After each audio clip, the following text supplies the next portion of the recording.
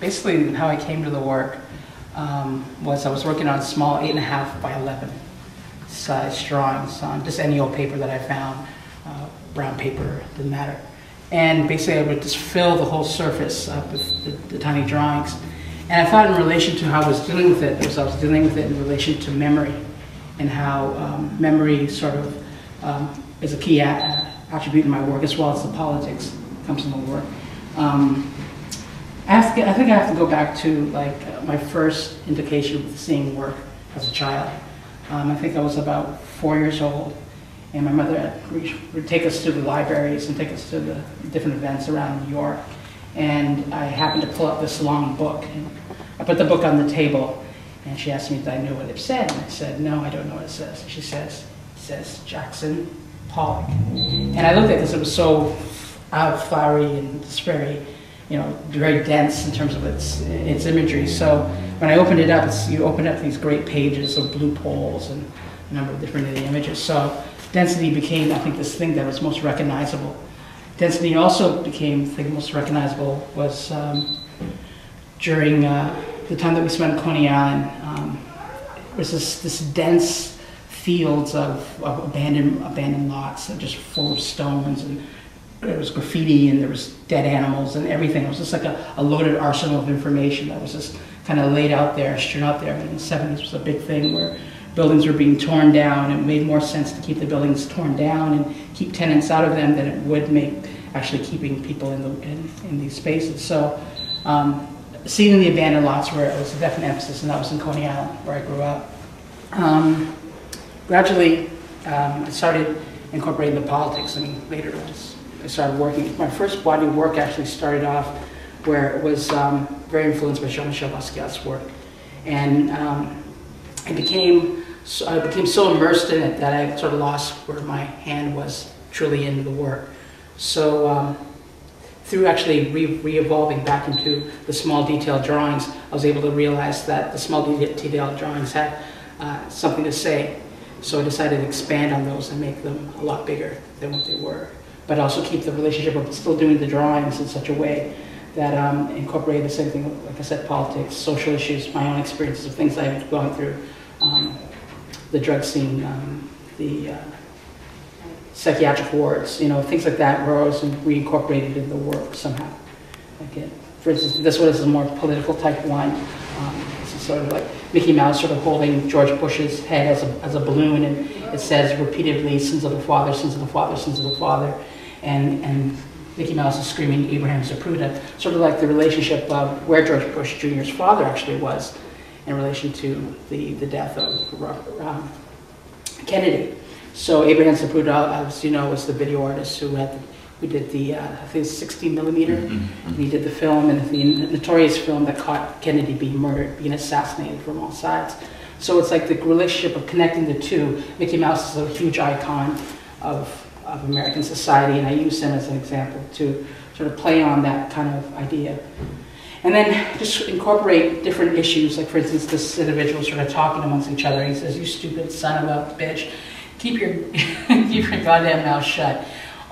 Only a handful of agents know about this operation. So it's just like this crass, I mean, I use the, the coarseness of, of language in the work uh, to sort of emphasize the point. I mean, I understand that sometimes using profanity may not be a way of actually emphasizing or getting the point across, but I think in, in terms of when people are angry or people are reacting to something, they react with profanity in some way.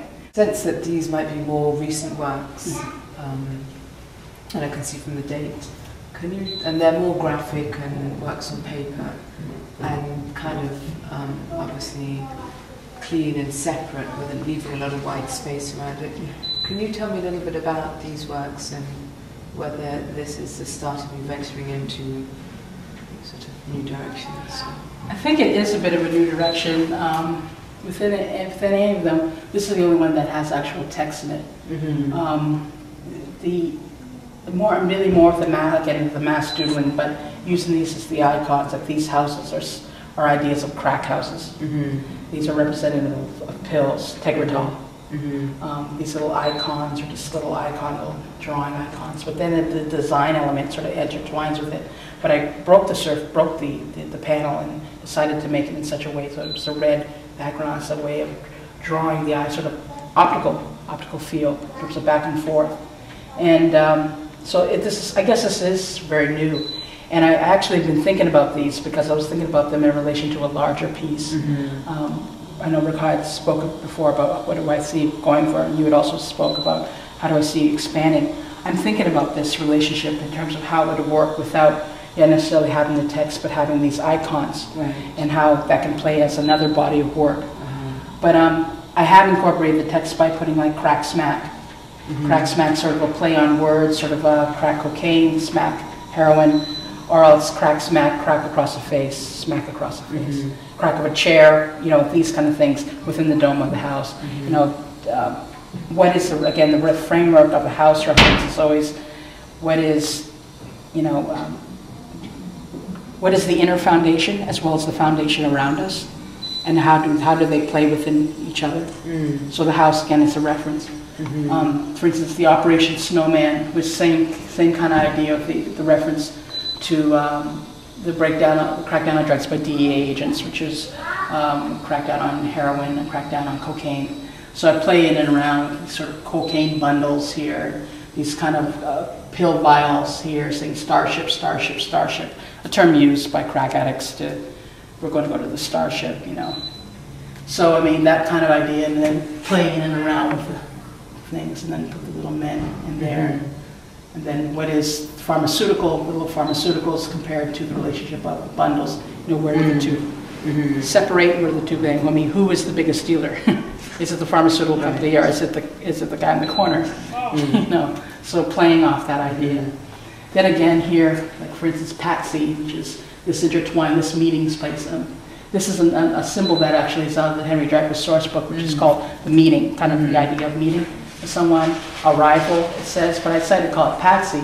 So it's the idea, this, who knows what the conversation is, is between these two men, and who's being used and who's not going to be used. Right. Um, sort of the missiles, uh, playing in around that, and again, destroying the design element, sort of the Mhm. tanks here, you know, morta, morta, morta, death, death, death, you Mhm. You know, sort of playing in and around that.